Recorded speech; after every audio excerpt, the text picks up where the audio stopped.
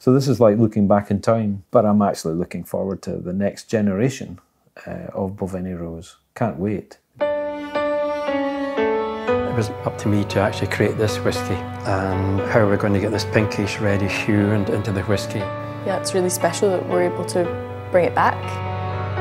You wouldn't really think that you would make a whisky with that name, but why not? I mean, it's, there's romance in it, there's aroma in it, there's colour in it, there's nature in it.